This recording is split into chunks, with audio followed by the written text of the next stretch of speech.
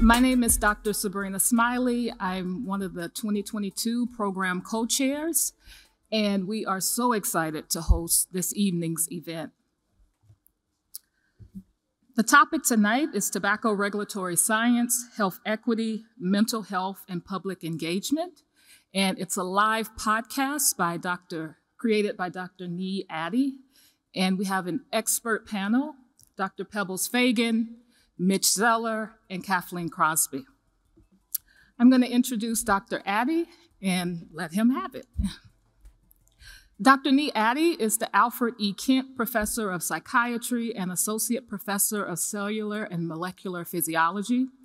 He received his BS in biology from Duke University and his PhD in neuroscience from Yale University. Dr. Addy directs a federally funded research program investigating cholinergic, dopaminergic, and L-type calcium channel mechanisms, mediating substance use and mood disorders.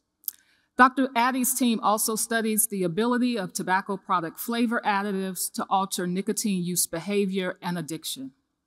He serves on the journal editorial board of neuropsychopharmacology, biological psychiatry, nicotine and tobacco research, and neuropharmacology, and is a grant reviewer for the Neurobiology of Motivated Behavior study section of the National Institutes of Health Center for Scientific Review. Dr. Addy currently serves as the inaugural Director of Scientist Diversity and Inclusion at the Yale School of Medicine, as the Director of the Faculty Mentoring Program for the Yale Minority Organization for Retention and Expansion, also known as MORE, and as co-chair of the Career Development Subcommittee of the Anti-Racism Task Force in the Yale Department of Psychiatry. He also contributes to graduate student and postdoctoral training and to diversity, equity, and inclusion initiatives through his efforts on campus and in scientific societies. So without further ado, please welcome Dr. Addy.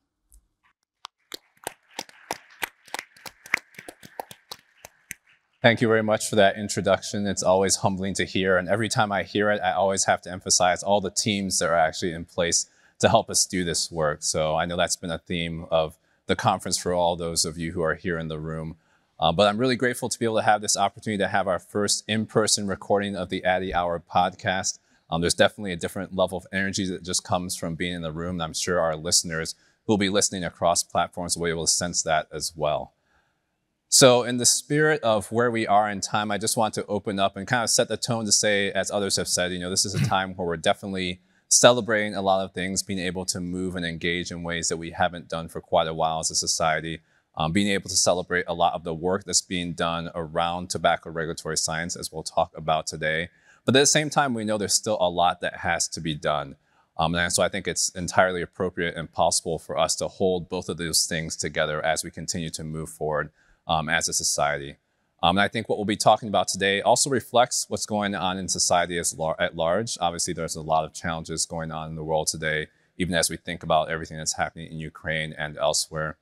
I also did want to acknowledge that this is March 16th, 2022, when we're recording. And so this is the one year anniversary of the tragic events that happened in Atlanta a year ago when several lives were tragically lost from our Asian, Asian American, Pacific Islander community. So I want to make sure that we at least acknowledge that and continue to give space for that and not forget about those things because even though that was one isolated incident, there are other things that continue to happen to members of that community. We want to make sure that we continue to elevate those conversations and to move things forward to action.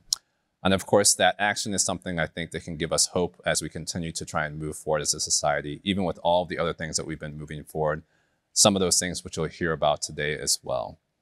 So with that framing and that uh, approach in a sense, I'm uh, really grateful and honored to be able to be here and to host this conversation with all of our esteemed guests and want to go ahead and introduce them to you now.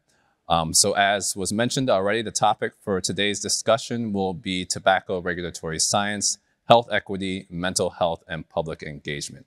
And so I'm honored to be able to host individuals who have been at the forefront of those types of efforts over the years, um, and excited to also have them interact with each other um, and to, to uh, see how we can even elevate that conversation and continue to move things forward. So I think what I will do is actually just introduce in the order that we have of everyone sitting here on the stage. So the first guest, with, uh, which I would like to introduce, which is someone who's familiar to those of you who are here in person, is Mitch Zeller, who is the director of the Center for Tobacco Products. And in that role, he leads FDA's efforts to reduce disease and death from tobacco use and bring previously unavailable information about its dangers to light. Mitch has been in this role at the FDA since March of 2013, and in that role, he has been implementing uh, the mission of the Center for Tobacco Products to make tobacco related death and disease part of America's past and not America's future, and by doing so, to ensure a healthier life for every American family. Mitch is someone who has been at the forefront and working at FDA related issues for more than 30 years. He actually began his career as a public interest attorney in 1982 at the Center for Science in the Public Interest. In 1993, he actually joined the FDA under then Commissioner Dr. David Kessler. And what was supposed to be a two work assignment actually turned into a much longer uh, foray with the country, so, or with the, with the FDA, so to speak, where he, be ser- where he was serving as an associate commissioner and director of the FDA's first Office of Tobacco Programs. He actually left the FDA in 2000 to continue to work in this space with the American Legacy Foundation, also had a stint as senior vice president of Pinney Associates, and then again returned to FDA in 2013. Um, and as many of you know, will be retiring soon, so this has been in some ways a celebration of his efforts, and I'm honored and grateful to be able to welcome Mitch Zeller. Thank you. And seated next to Mitch is Dr. Pebbles Fagan, who has lots of different titles. I'm only going to highlight a few of them here, just for the sake of time. Dr. Fagan is a professor and the director of the Center for the Study of Tobacco in the Fay W. Boozman College of Public Health. She is also the director of research in the Office of Health Initiatives and Disparities Research at the College, uh, Medicine, College of Medicine at the University of Arkansas. And she's someone who has been engaged in this work for over 25 years, conducting research that seeks to understand factors associated with tobacco use and exposure in racial and ethnic, women, low socioeconomic status, and youth young adult populations. And she also seeks to develop community interventions that aim to reduce tobacco and cancer related disparities. Dr. Fagan has a number of leadership roles and initiatives. One I'll mention is the newly funded Center for Research, Health, and Social Justice. She also is a senior advisor to the CDC and also has put a lot of time and investment to training students and faculty members to advance their research careers as well. Again, several different accolades. One I will mention, so those of you in the room have heard this. Those listening, I also want to make sure that you know that she just received the Presidential Award from the Society for Research on Nicotine Tobacco for her career contributions to tobacco and disparities research. So honored to welcome Dr. Pebbles Fagan to the Addy Hour. And last but definitely not least, also would like to introduce Kathleen Crosby, who is currently the director of the Office of Health Communication and Education mm-hmm. at the FDA Center for Tobacco Products. So, in that role, she leads an office that is responsible for conducting public education, stakeholder outreach, and regulatory communication programs designed to ensure FDA success in implementing the Tobacco Control Act.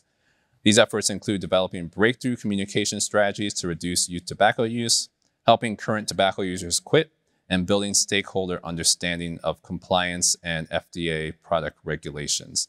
She's been involved in multiple public education campaigns, including the Real Cost. And she also has a long-standing career with over 20 years of experience as a senior in senior level marketing and advertising, and working on several large-scale multimedia campaigns. Also um, served at the ad council for quite a while and was a campaign, campaign director for 17 United States government agencies someone who's been very invested in this realm for quite some time. I'm glad to be able to work on her, her here to the podcast as well. Well, enough of me speaking. We obviously have folks who have lots of accolades and are experts in their, their spheres of influence.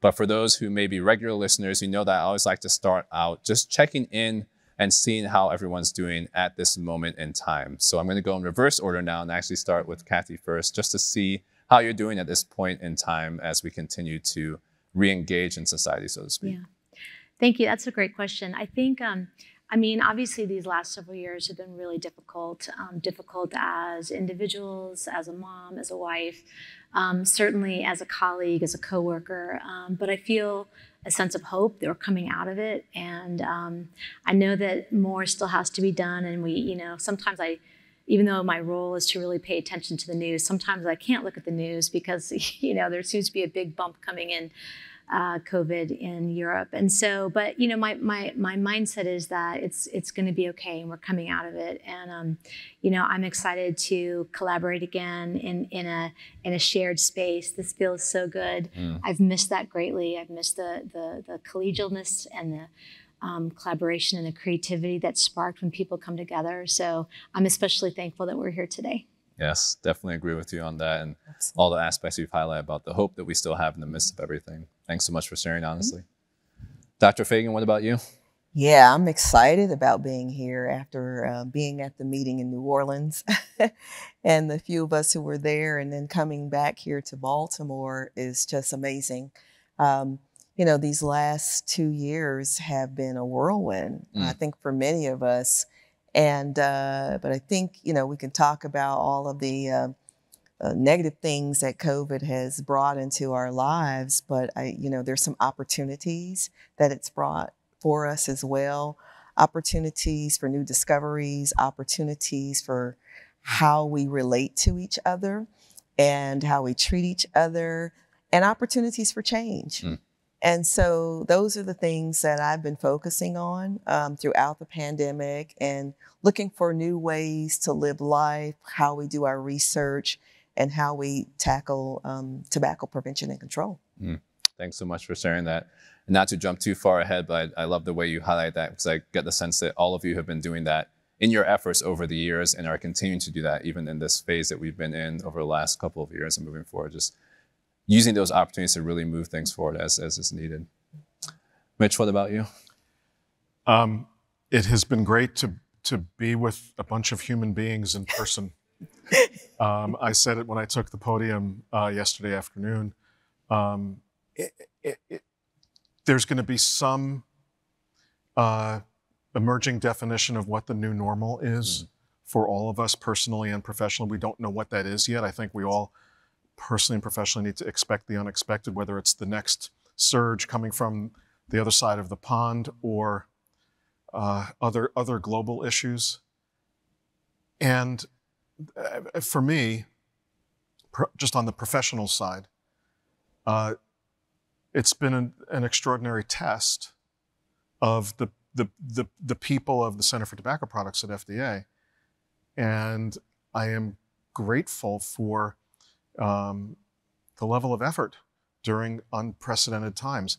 It has come at a price, though, for, for all of us, not just those of us in federal service. I mean, the, the challenge of work-life balance, especially if your family situation involves childcare or elder care or, or, or any other um, health-related issues, um, has we've paid a price, but it's been very gratifying to see the commitment and the dedication of the, the people that I work with as we all kind of mud, have muddled through this from our home offices or wherever we're working from uh, at home to, to get the job done. And I know that that goes for everybody involved in uh, tobacco control. And, and, and th- that, that to me is what's so, um, was the emotional reaction I had to be, to be here yesterday. Mm. Because uh, we all have day jobs in different realms, different sectors. We're all working towards the same overarching public health goal when it comes to tobacco use and to be back together with the, uh, the wonderful family of the Society for Research on Nicotine and Tobacco meant a lot to me uh, personally and professionally. Mm. That's great. Thanks so much for sharing that. Really well said. And already, I know we're only a few minutes in, but so many themes that are, that are cutting across all the comments that you all have made. Um, one thing that really strikes me about the work that you do is it's so focused on people and on society. But then again, at some level, it seems that the level of humanity has actually been increased over the last couple of years, as you're even talking about being attentive to the different challenges that people have been walking through.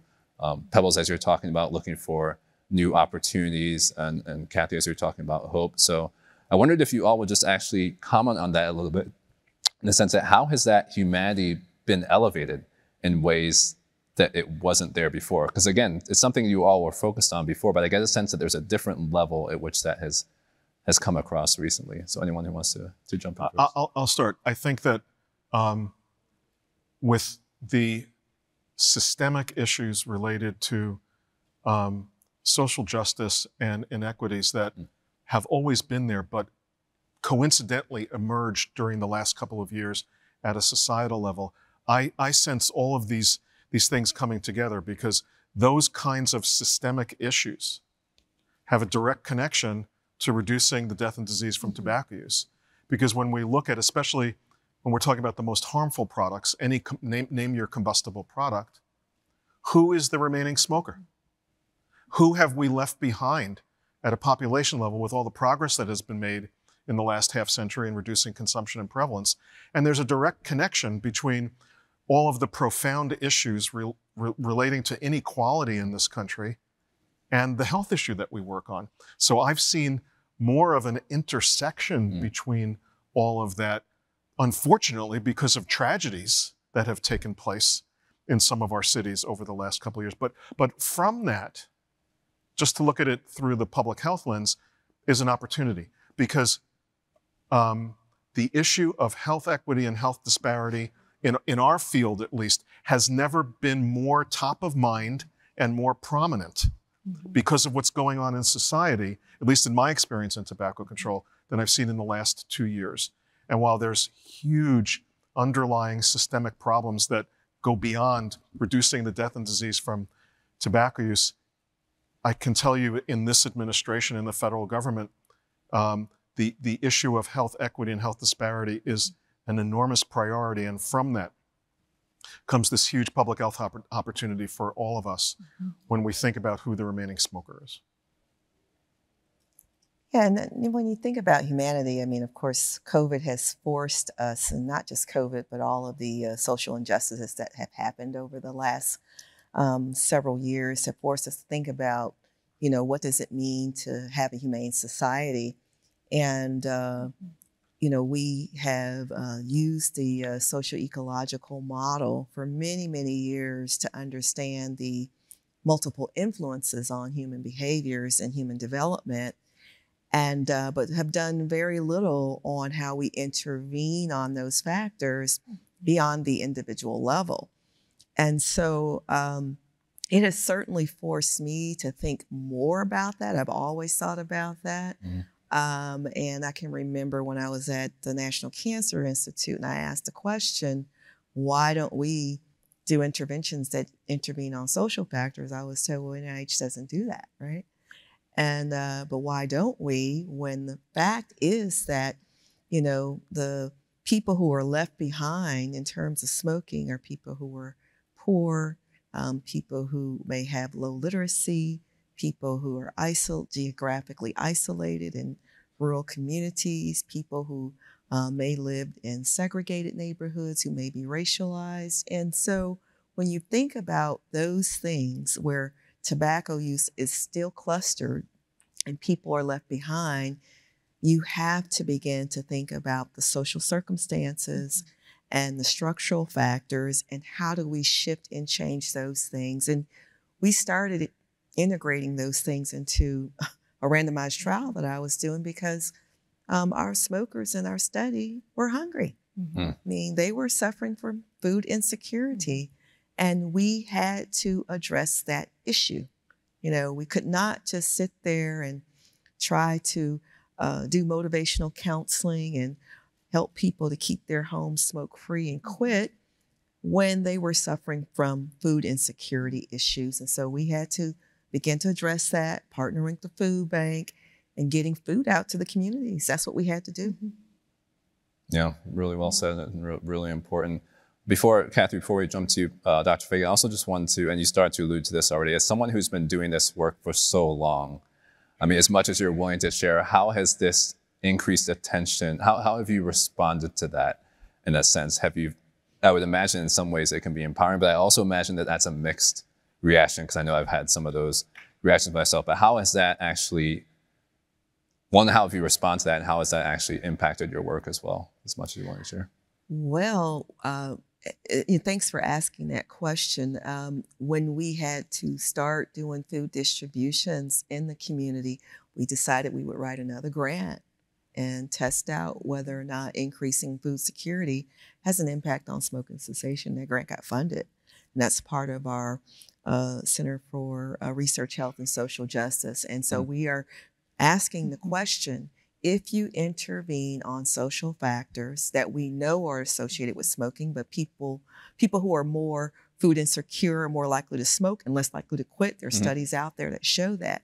So if you can intervene on those factors, does it change circumstances for them? Can we get people out of the addiction cycle? Mm-hmm. Um, but it's also um, forced me to work in the COVID arena as well. Um, I wasn't running, jumping, trying to become involved in reducing disparities as it um, is associated with COVID 19. Mm-hmm.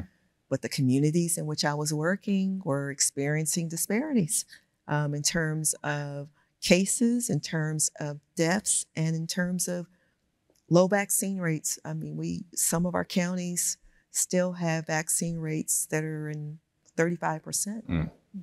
You know, and and and so we have a long way to go compared to Vermont and New York. Mm-hmm. Mm-hmm. Really important. Yeah. And just you know, I also just want to acknowledge again that flexibility and the fact that you adjusted to meet people where they were, even though it wasn't your original research question. Also knowing that that takes more work too. So I imagine there's a fine balance there as well, and something I'm sure we'll come back to in the yes. conversation. Yes. But Kathy, also wanted to give you a chance to respond well, to that. Well, starting with your original question. Um, you know, I have two, I guess, personal examples of how um, kind of bringing to life what, what, you were just saying. But first of all, I need to say that Mitch is a great boss because he, over the course of the pandemic, um, he allowed me to do a lot of time off from work, um, volunteering. Obviously, I, I, took leave, but volunteering because you mentioned food insecurity. Um, during the pandemic, for over a year, our church was asked to help to reach into the community to deal specifically with food insecurity. And once we started getting out into the community, I mean, it was, you know, it was in the midst of the shutdowns and, you know, there, there were no vaccines and we really didn't understand where COVID was going to go. But the community need was so great. And the fear in people's faces were so great that once we started doing it, we had more and more and more requests. And so basically, we would go out into the community um, every day of the week and deliver big boxes of food. And, and I would always go on Friday mornings and I would see the same people over and over again. And so many of them deal with so many of the factors that you were talking about. Um, but what I would like to say is it, it, it gave me a belief that you know we can band together in times of intense trial and we can help others um, and so I, I, felt encouraged by that as sad as it was to see mm-hmm. mm-hmm. and the other example i would give it was the federal response to all the children that were coming in across the border our southern border um, without families. And so there was a massive federal outreach to go into these cities and help to bring these children in because once they're once they step foot in the U.S., they're the Health and Human Services must take care for them. And so um, there was a massive volunteer unit. Again, Mitch allowed me to to leave my position for six weeks to go, and um, it, seeing these children coming across. Um, it was uh, unbelievable. It, it, was sad, but it was also amazing to see how the American people, the, the host cities kind of stepped up to bringing these children across. And, and in both cases, they, they were COVID hot zones, right? It's like working in the community, tons of COVID, um, and then bringing these kids in and working in the community to try to help them find families here.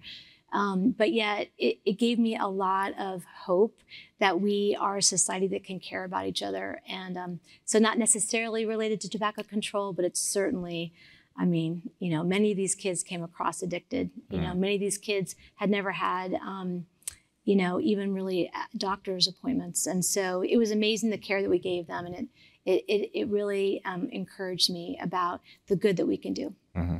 Yeah, really well said, and. I love the way that you all have highlighted just aspects again of touching on humanity in different ways, some within the work, but some again having that time mm-hmm. to be able to step out of your official role and to really be able to meet people um, where they are.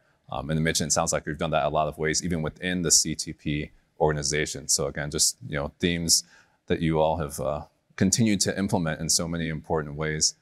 I'm also curious how these stories have impacted your motivation going forward? I mean, Mitch, you touched on that with the, the new normal or what that, whatever that might look like. But how is this actually impacting how you approach things on a day-to-day basis now in your current efforts? I, I think just you know, sort of programmatically, um, it, it, sort of comes back to some of the notions I already touched on. Um, because we're working in an administration um, that has, in my entire uh, career in tobacco control, going back um, almost 30 years, um, I've never seen this kind of focus on health equity and health disparities. Um, I think, and this goes way beyond product regulation. This is um, an unprecedented opportunity for comprehensive tobacco control efforts at all levels, federal, state, and local.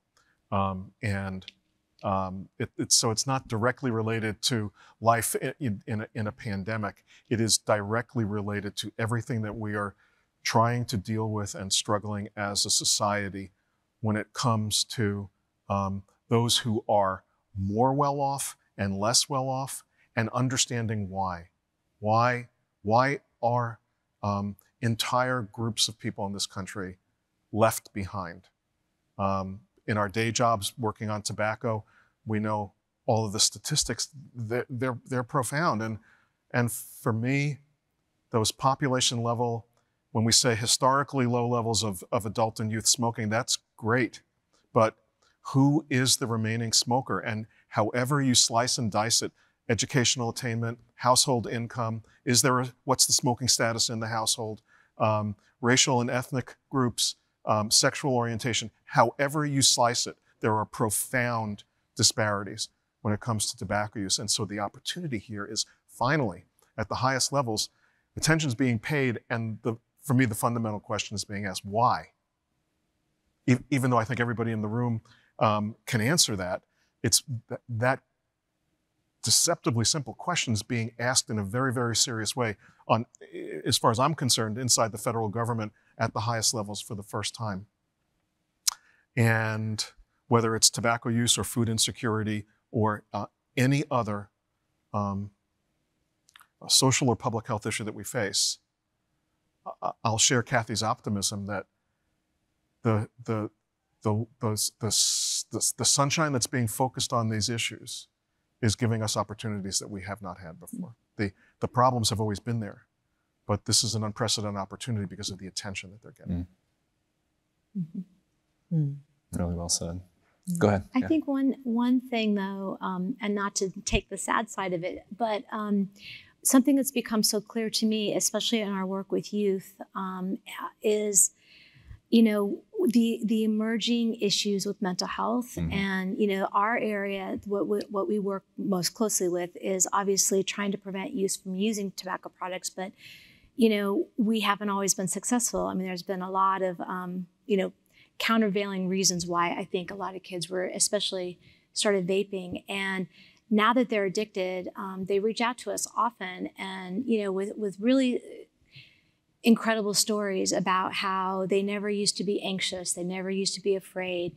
Now they feel depressed all the time. Now they want to they they self isolate themselves, and it, it it really appears that you know on top of the of the pandemic we are seeing many, many mental health issues emerge. And, you know, our piece is just one of it. And, um, you know, I always quote this because it was so telling because one, one team we were talking to in the early days um, and talking about the addiction, and, you know, he's like, you know, all I did was just add crap to the crap. And, and I think that there is, especially if you're addicted, um, you know, as you most you know when you're withdrawing from that nicotine and you need another hit it's very anxiety producing.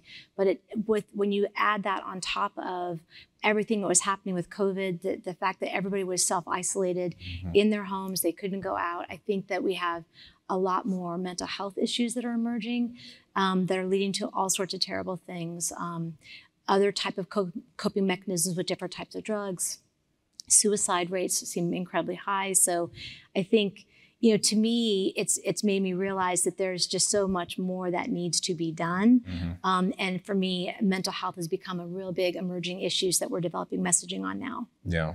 Yeah, really important. And I'm glad to hear that message is being developed, but also seems like the conversation is being elevated in ways that it wasn't before. Yes. Um, and especially even as the data is coming out with all the stressors that have been added um, with COVID. Mm-hmm. Um, Dr. Fagan, I also w- wonder if you would respond to that, just based in the communities that you've worked in, where obviously stressors can lead to a lot of these different components, both from mental health side and youth, uh, from youth side, and how you've continued to try and approach that, even though there's a lot of work. Yeah, I, I think um, the COVID 19 and other things that are happening in the world are forcing us to think about workforce issues, Mm, right? mhm.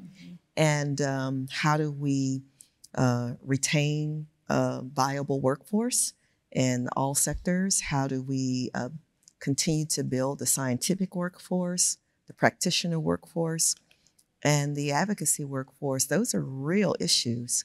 And um, uh, and also uh, create uh, new work climates Mm. for people to live, breathe, and work in that are more humane um, and still get at productivity. And so, uh, my experience during COVID 19 is you know, I went home, I took my desktop home, and it was great. And I created more work for myself because not just because of COVID 19, but you didn't have to run to meetings. I didn't have to travel to work. Um, I saved on that time so I could stop at lunchtime, go walk, come back, and still be productive. Now, transitioning back into the workforce, and you've created an extra four hours of work, but now you still have your four hour getting ready for work coming home added on. How do we make those adjustments? Mhm. And people like Mitch are retiring. That's, Yes. that's his adjustment. That's a stressor. That's a stressor. Look, we said we were going to try to make people laugh a little. There it is. So that was a joke. but um, those are real issues, and it's a real mental health issue as we- well. And trying to make those adjustments when there's such a great need. Mhm. But at the same time, we have to ha- strike a life balance because I'm getting away from saying work life balance. It's life balance. That's what it is. If you lead with the work part, we get it wrong, Mhm. right? Mhm. It's life balance. And how do we make that happen? And we haven't had enough conversations about our transitioning back to um, whatever that normal looks like, because it's not what it was yesterday. Um, people kept saying, get back to normal. I don't know what that means Mm. right now. But we need to have strategic discussions about what that looks like. Mm. And I think we haven't done enough of that. Uh, we have to reframe what a research field looks like now. Mhm. What does an academic workplace look like? What does a federal workplace look like that is healthy, Yeah. mentally healthy, viable, and productive, and not contributing to premature deaths? Mhm. Yeah. It, it's been really interesting to see um, just inside of our agency. And, and I can and I can say this goes beyond our center because as a center director, I, I hear from leadership throughout FDA, and FDA is 18,000 people, um, that uh, the adaptation to 100% remote or 100% telework, once we got through some technical problems, literally just during the first week, was pretty smooth. Um, and to uh, to Pebble's point, people got used to it and actually um, became more productive to the point where that raised issues of um, uh, actually work being piled on because they didn't have to do the commuting and they didn't and didn't have all the other things that come with that. And so, where FDA as an organization finds itself now is um, asking some really profound questions about its physical footprint going forward. Do, does, an, does an agency like FDA need all of those buildings? Um, or in whatever the new normal is, is it going to be, you know, so different that that rethinking the, the need for physical workspace or how much of it um, is something that is starting to be discussed, and it will be very, very interesting to see. And assuming those conversations are happening in, in other small, medium, and large size organizations, um, I don't think we can predict what the future is going to look like, other than it's going to be very, very different from what it, it looked like for us when it comes to workplace issues that Pebbles was talking about. When it all settles down, I think it's going to be really different, and I think uh, I hope, a, a, much better balance between uh, work responsibilities, making it easier on um, the people who are doing the work while balancing familial responsibilities as well. Mm. Mm. And I think that's really important that you both highlighted that there is a danger to try to go back to what was normal before, in the sense that we don't want to lose everything that we've learned over the last couple of years, things that have been ignored before that now have more attention. And so that in itself, I think, is even a tension uh, for some because there can be this tendency to try and want to return to what was normal with all the caveats that come with that as well. Um, so maybe more so for, for Kathy and Dr. Fagan, I'm curious from your standpoints, just in the work that you do and in the communication space, how you think it is important for us to continue to move things forward so this doesn't become passing in a sense. Because there is, I do often sense that pull for people to tr- just wanting to go back to what felt familiar, even though there were a lot of problematic aspects with what was familiar. Yeah. Um, so how, how does that come up, I guess, in a day-to-day basis for each of you? Well, I think especially for um, the office that I oversee, I, I think people have learned to love um, the the ability to work exclusively from home. And so, if anything, I think um, you know what I'm hopeful about is the opportunity to explore what a hybrid workspace might look like. Mm. And, you know, maybe that means that for really important times of collaboration, people are able to come together. But, you know, I think that we've learned that people can be, can do their job and do it really well um, and not be in a physical environment where you're all together. So for me, I think the challenge is going to be finding that right mix because right now everybody has, I guess what I would call somewhat of a taste of freedom, right? So, um, and and we really haven't missed a beat, as Mitch said multiple times, in terms of productivity and being able to do our jobs. It's like, you know, we we um, our bread and butter is talking to the audiences that we're trying to develop messaging for. And in the early days we had to really like figure out how we're going to do that but now we've figured it out right? It's like it's all done online and we really haven't had an interruption in our ability to actually um, deeply have a good conversation with a youth or an adult. And so we don't need to go back to traveling to 28 cities for 48 focus groups, right? Like we know we can do it online. And so I think we've learned to adapt and I think we're super productive. And I think people love the opportunity to only dress from here up and not worry about what's down below and, you know, walk into the kitchen and make lunch or walk and have a nice um, afternoon walk. And, and so I think for me, it's trying to find the right balance where there's the opportunity. Because I, I also worry about, especially those who are younger, who really would benefit from the opportunity to listen in meetings, see how things happen, see how like creative brainstormings go. And I and I do worry that some of the younger generation, if they if they're not able to be in person when lightning strikes, um, if I do think something is lost over Zoom. And so my my worries are how do you keep an engaged workforce such that they still feel like they have balance in their life, but that you can continue to grow and thrive um, in somewhat of a shared space, but not all the time. Mm-hmm. Yeah. Yeah, ongoing juggling. Yeah, ahead, I, I mean, I would love to see more strategic discussions about what the new workplace looks like. Mm. Um, I have talked with my team. Um, they're all here at the meeting with me um, and um, uh, for their for career development to give them a break as well. Come to Baltimore, you know, see what I what we do here. Mm. Um, but we've had discussions about, you know, how do we move to a four day work week? Um, now that's a tough thing to figure out. Mm-hmm. Places like Finland and other countries have it figured out, and the research is fairly solid on the fact that you know those countries that have moved to that particular model, mm-hmm. that the people are as productive or more productive. Mm-hmm. Um, and so we have to think very carefully about that. You know, the US is very slow to adopt some of these models that work in other places. And these countries, other countries are doing just fine. Mm-hmm. They're doing just fine. Um, so we have to reevaluate our value system around life itself um, and I don't think reevaluating it means that we're giving up something in terms of making progress, mm. because the reevaluation may help us get closer to progress faster mm-hmm. and expeditiously, right?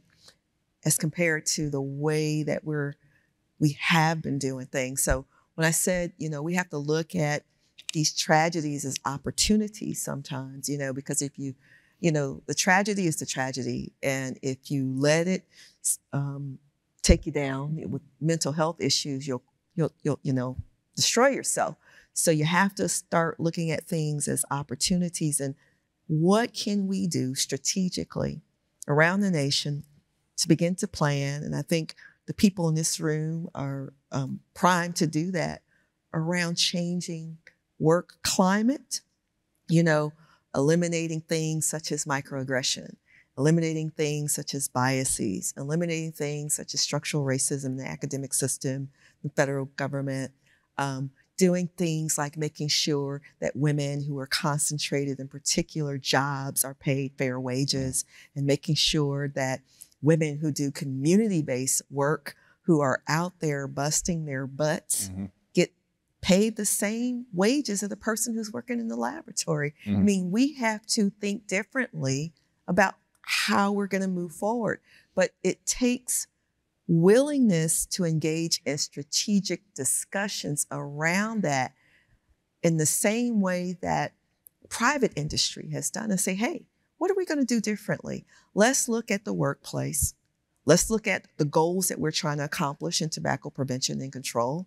How do we get there? And how do we shape the workplace to get to that goal without um, killing ourselves and without contributing to the premature morbidity and mortality mm-hmm. um, by killing the workforce off? Yeah. So, I mean, those are real issues. Yeah. Yeah, I definitely agree. I mean, there's so many great things to to unpack there. To Kathy's point from before, though, I mean, just uh, in a humorous way, the uh, only dressing from the top up. You all will notice that we decided and made a pact that we were going to do the full dress today, so no one came in pajama bottoms. Even though I'm sure that was a, a temptation, just how things have been going in the past. Uh, but Dr. Fagan, so many so many key things which you talked about. One, I mean, not to complicate it, but yes, to complicate it in a sense too, as you've mentioned in other settings those who are doing health disparities research who are often spread thin in the first place. And so that was and has been the norm. Now you add on this layer of also trying to adjust and make sure that there is balance in, in the workday and workforce. How do you, and you've started to talk about it, but how do you put those together? I mean, I guess the strategic piece is part of that, but there may not be an, an, easy answer, but I just wanted to at least kind of highlight that because I know it's something. Oh my goodness, Shadi and I just had this conversation about two hours ago. Um, sometimes, it, you know, I think it's helpful for us to vocalize some honest things, which is sometimes you just have to check out, mm. right, and take a break. and if that means you may not respond to an email ever doesn't mean that you don't want to respond to it, but sometimes you got to save yourself, mm. right? Sometimes it means, uh, and I'll give this example. Two Fridays ago, um, uh, my um, my team had a tough day, and um, I wanted to take them out um, so that we could, you know, we were supposed to do a luncheon for uh, celebrating Employee Day and and I said, "Oh, to this afternoon, let's go out." They were like, "Nope, no way. we need a we need a break today." Mm. And uh, you have to honor that, mm-hmm. right? Mm-hmm. And so sometimes you have to check out. Sometimes you have to schedule breaks. You have to do it for yourself mm-hmm. and for the people who are working on your projects. Sometimes you have to allow that. Sometimes you have to facilitate that as well. Sometimes you have to say, today, you know, everybody leave. You know, we're done today. Sometimes they tell me, we're done today. and and when they say that, I'm I'm okay with that. Mm-hmm. So you have to, you know, even as a, a manager of people, mm-hmm. you have to be attentive to folks' needs. Sometimes you're trying to save yourself, but you also have to make sure that you're helping them as well in this complicated environment. But doing health disparities research, I mean, you know, those of us who have been doing it for, you know, decades um, um, have, um, I, I, say, bear the burden of doing the research. And people who are new to it um, uh, may not hang in there as long because you really have to be resilient. Mm. there's a, a high level, not a low level, very high level of resiliency that you have to have in order to survive it because the need is so great. Just like I mentioned earlier, you know, I've been working in tobacco disparities. I also do cancer disparities with colorectal cancer, and then COVID got added on. And so it's a lot. It's a lot, um, but there's a great need out mm there. And um, but what brings joy um, to that is to see that you are making a difference, that you're changing someone's life. And I don't mean looking at the survey data. I'm talking about looking at people's faces and talking to them on the phone and my team coming back to me saying, hey, such and such really um, appreciated what we did. That makes the difference and that keeps you going every mm. day.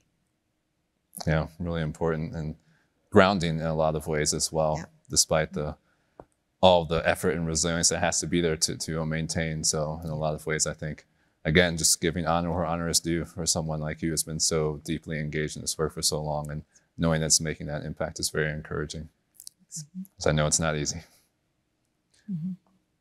Mitch, to, uh, to pivot back to you as well on that note, as someone who is shifting into uh, retirement, just again, curious to hear a little bit about what motivated you to get into the work in the first place um, and what your, I guess, your greatest um, point of achievement and, and gratification has been, you know, with this this long and impactful career.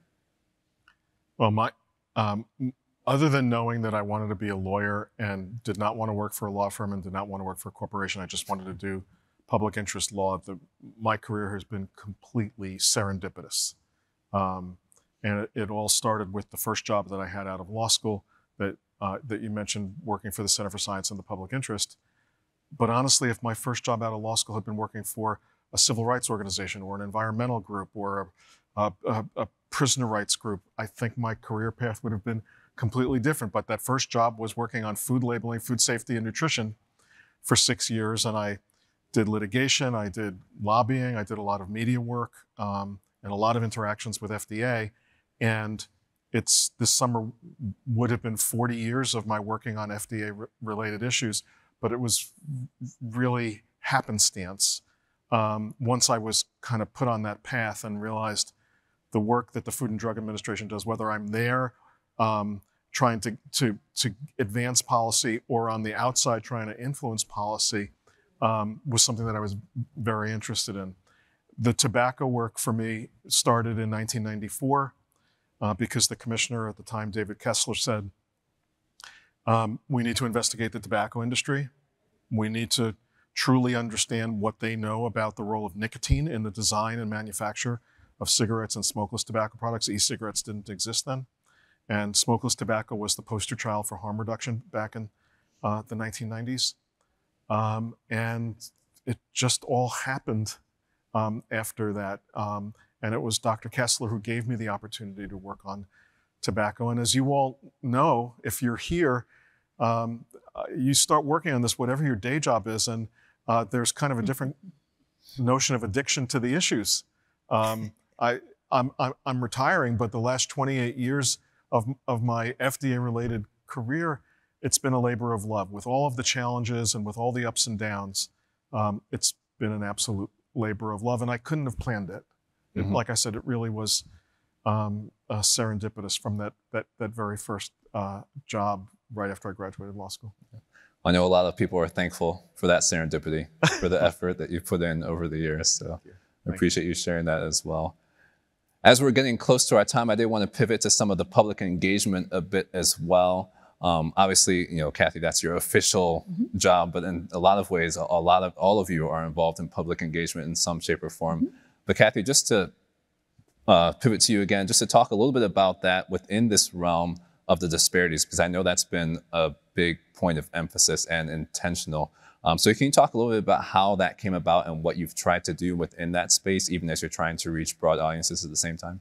Sure. So, um, no matter what the issue is, and and you mentioned my my time at the Ad Council, um, we oversaw almost 30 different pieces of business for federal agencies, And um, but what was the tie that that bound all of them together was that you know we were trying to help people understand whatever the issue was, so that they could potentially lead healthier, safer, um, uh, you know, more empowered lives. And so, you know, for me, whatever the issue is, you have to understand which audiences um, would most benefit from whatever the issue is, or which audiences are most um, you know disproportionately hurt by whatever the issue is. And then you know my my suggestion is that we don't you don't treat the audience as they're homogeneous. You really have to understand like in the case of, of youth who were the youth that were smoking cigarettes? And when you really peel back the layer of the onion through comprehensive research you understand that a, a picture emerges of those who are most at risk. And then you have to understand why what made um, American Indian, Alaska Native uh, teens so at risk? What makes African American youth so at risk for this product? And and and if you treat them as individuals, not as a mass population, and you peel back the layer of the onion to understand what their current knowledge is, what their attitudes, what their beliefs are, what their barriers are that are, you know, making them do the behavior or conversely making them stop the behavior, you can begin to develop messaging that will be relevant and persuasive, but based on the uniqueness of that individual. And so to me, um, it's about what the issue is, who is most hurt by the issue, what can you learn about them, what do you, how far do you need to nudge them to really help them, um, and and that's how we approach all of our advertising efforts. Yeah, that's really encouraging here. Just that attitude of really listening and meeting people where they're at in the in the programs that you're putting together. And it seems like it's been very effective from the statistics I've heard you share over the years as well. Um, Dr. Fagan and Mitch, I wonder if you'd comment on what how you've also, I mean, Dr. Fagan, I'm also just thinking about all the different things that you do and the different layers of your communication in different communities and how you've navigated that over the years as well. Yeah, I want to talk about uh, state legislatures, you know, because uh, when I came out of the federal government and started working in academia, I had to uh, figure out how to communicate issues around tobacco to state legislators mm. in Hawaii and then do it in Arkansas, which are two very different states, and how you communicate that information. You know, while in Hawaii, the big issue that we were dealing with at the time was uh, e-cigarettes took off there um, early mm. compared to other states um, because their cigarette smoking rates were down because the taxes were so high. Um, but e-cigarettes shot up, and so we were our research team there um, started working on e-cigarettes early on, and we had some of the first papers to come out. Um, looking at the association between e-cigarettes and quitting mm-hmm. behaviors. Mm-hmm. Um, Pallav Pokhrel was the lead author on that paper back in 2013. But we had to learn how to communicate issues to state legislators who were unfamiliar with products, who were unfamiliar with issues around flavors, who weren't necessarily familiar with issues related to menthol, you know, um, as a flavor. And so um, I had to become skilled at that. And then I went to Arkansas, where um, you have a different group of state legislators who are very uh, pro tobacco. Um, mm. Hawaii was anti tobacco, but there's still a skill set that you had to develop to communicate things to them. And so it's a work in progress, mm. learning how to influence policies at the state level, educating people about the things that need to be done to protect youth from e-cigarettes to uh, help people to get um, help with quitting uh, tobacco products to make sure that um, dis- disparate communities have access to nicotine replacement therapy. When they call the quit line, they can access those things. And so I think we still have a long ways to go in terms of sharing stories uh, across states mm. on how you uh, communicate things to state legislator to make sure that we are improving public health and not harming public health. Mm-hmm. Really well said. I, I think I think for me, and in listening to what Kathy and Pebbles were saying, the the thing that resonated with me as I think about the the job that I've had for the last nine years, but having learned from each previous position and the the people I've had the the privilege of working for throughout my career, It really comes down to, and it sounds simple, but it's actually really hard. Understand your audience. That's what I was hearing from Kathy and, Mm. and Pebbles. And when you think you you understand your audience, think again, Mhm. um, because if you if you think again, you may come up with something else that you hadn't thought of before. And in, in my job, whether it's inside of government and having to um, engage with um, uh, members of Congress, staff, um, whoever the incumbent administration is at the department level or at the White House, um, or or whether it's with any of the stakeholders um, that that we have a responsibility to engage with, or media advocacy. Um, understand where your audience is coming from, what's on their mind, um, whether it's something that you see as things they don't understand that they need to better understand, or if they're a decision maker, something that you're trying to persuade them to to um, agree to, but understanding where they're coming from and what might be holding them back. Um, and uh, we spend a lot of our time trying to understand our our various audiences, and the more effort we put in to that in in any setting and any encounter doesn't doesn't dramatically raise the likelihood of success, but it makes for a much more productive um, interaction. And it, and e- even when we deal with tobacco companies, it, there's a need for a dialogue and there's a need for you know a, a degree of mutual understanding, even if at the end of the day there's way more that you might disagree with than agree with, but just the responsibility to understand your audience. Yeah. And again, that really ties back into that level of humanity uh, as well as you all have been highlighting in your comments. Maybe not necessarily with that word, but I just that sense has been coming out as well. I think that's really, really important. Well, as we get ready to close, I would just also like to give you all an opportunity to, you know, kind of have a final message to our in-person listeners and to those who are listening uh, on all the uh, audio platforms. What so both in terms of what gives you encouragement, which you all talked about, and hope moving forward, and just uh, any words of uh, guidance that you'd like to share just with the general audience as well around these aspects that we've highlighted today. So we'll end on a, it's a light, a light question, not necessarily, but Kathy, you look like you're ready. So. I, I think um, one thing I would love to to share is that you know nicotine is obviously an incredibly addictive drug, but what I have seen is tremendous success um, in both preventing youth from using the product by finding ways in that are meaningful to them to help them to, to make a different decision before they ever try a tobacco product.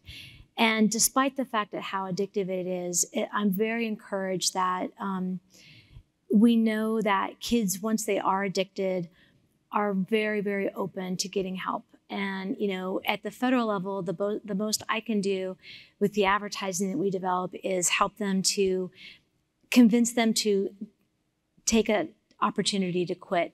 But there are so many amazing services that if, if I can open the door to that and then hand them over to, for instance, NCI, which, which really helps in, in a collaborative way to give them the tools and the te- uh, techniques that they need to quit. So I guess my my my overall point is is that if you are in a communications and messaging field, um, if you find the right insight to the right audience and you have the right creative wrapper, you really can break through um, and and help them live healthier lives. Really well said. Thanks so much. Dr. Fagan? Yeah, there, there are two two things I want to leave the audience with, which is uh, uh, I'm very excited about um, our uh, developing new bold leadership in the field, um, and not just in tobacco prevention and control, but public health and all of the sciences. Because you know, if we're looking at it from a multi-transdisciplinary approach, we need each other in order to um, really reduce the toll of tobacco use in this country. And so, um, you know, I'm asking that um, the next generation of people um, get engaged in leadership opportunities uh, to grow, to develop, and take bold steps, take risk. Um, you have nothing to lose. Uh, I, I can assure you of that. Um, and when you think you have something to lose, talk to a, a senior person about if that loss that you think you have to lose by taking various risks is a real loss, or is there something to be gained by that risk that you may take. Um, I've taken risk all of my life, and it hasn't necessarily been pretty all of the time. But um, I get I'm still here on the stage with these wonderful people, my colleagues here, and life goes on even when you take those risks. When you don't take the risk, you risk the chance of nothing happening around you. Mm. That's a big risk that nothing changes around you when you don't take the risk. And the second point I want to make um, is that um, when it comes to reducing this disparities in populations who have historically been marginalized um, for decades and who have suffered from poverty um, combined with segregation, combined with um, being uh, depoliticized, and all those things that cause oppression. We don't need those communities on substances at all, you know. You know, and so uh, because they're already poor, they're already in circumstances that continue to facilitate the addiction cycle. And so, those of us who've been working in disparities research for a long time don't want our communities on any substances. Mm. You know, we want the alcohol stores gone. You know, we want the tobacco shops gone. And we need to leave our communities healthy because they have so many things stacked against them. Mm. And that's just, um, you know, I know people have different opinions about it, but those of us who worked in health disparities research, that is kind of the perspective that we have on that as it comes to addictive products. Thanks for sharing so so honestly and so boldly, and also appreciate your encouraging words to the uh, the upcoming and rising generation as well. Really, really well said. Mitch, Um, I think I'll pick up on Pebble's first point about uh, be bold and take risks. I, I completely agree with that. But um, there's, there's a lesson uh, that needs to be um, top of mind when you do that, which is the, the bolder you're, you're going to be in, in, in the field that, that we're in, given who and what we are up against, the harder it is to bring about profound change. So, yes, um, be bold and take the risks, but have patience um, because the more impactful a potential policy or a program is, many times the harder it is to, to see it put into place. So, don't give up Mm. and have patience. In, in 1994, when I started working on tobacco, um, FDA went to the World Conference on Tobacco and Health for the very first time, and I was one of the the two FDAers that got on a plane, flew to Paris, where there was a smoking section on the plane, and we were sitting in the last row of the non-smoking section. So a lot of good that did on an overnight flight with the smoking section right behind us, and and here we were. We were going to tear down walls with product regulation in 1994. We're going to the World Conference, and someone said, "You need to go hear Nigel Gray." Nigel Gray has been um, who, who Nigel, who's no longer with us, but who uh, a global leader in the field and very prominent member of SRNT for many, many years. They said, you need to go hear Nigel, Nigel Gray talk. And I went to Nigel's talk in 1994, guns ablazing. And, and Nigel said, what we do is so hard that he, he was trying to teach lessons to those of us new to tobacco control at that time. And, and, and his message was, um, the yardstick by which we need to measure success or failure because of what we do is so hard is by the decade. 10 year increments before you know whether you have succeeded or failed on, on, on the big stuff, not on the small stuff. And I was sitting there having none of it Mm. because we were going to tear down walls, you know, really quickly and, and, and, and bring about this profound change. But he was right. He was right. And so that's how I would, would, would sync up everything that, that I've had the privilege of working on in, in my career with what Pebbles was saying about being bold and taking risks. That, that's how we get change made. But make sure you have the patience and the intestinal fortitude um, and the dedication and the spirit that I know everybody in this room and everybody listening to this podcast does because the more impactful the change, the harder it is to, to see that change happen. Mm. Thanks for sharing sharing that story as well and that perspective. But one thing I just want to also add to everything you all have said is just the importance of community as well. Because one thing that jumps out to me is the work that you all do as a community, even as you are invested in these other communities as well. So, I mean, that story touches on that. Dr. Fagan, what you've mentioned is also touches on that, and and also um, Kathy, what you've mentioned as well. So, and again, I know I'm pulling in my mental health component, but that's so important for us to be able to be engaged in community, especially in this work where we're wanting to see these changes, so that we're able to support one another and not get to a point where we're running a thousand miles an hour and no longer able to continue the work. Um, so, just wanted to mention that as well. Again, just an honor to be able to ha- have all of you here for this in-person recording. For those um, who are listening, I'd also encourage you to look up these individuals just to learn about the impact and the efforts that they've made and will continue to make. Mitch, I have a feeling that your legacy will continue even when you're no longer officially in the role. And maybe there'll be some way you'll also continue to be contributing, um, as I know many who step into retirement often find themselves doing. I'll just put it that way. So, and thanks to everyone who's been here in person for this live recording. It's been an honor hosting it and hope that you all really enjoyed the conversation, the way we were able to peel back some of the, the layers, so to speak, as well. Thanks again to all of you for joining. Great. Thank you. Awesome.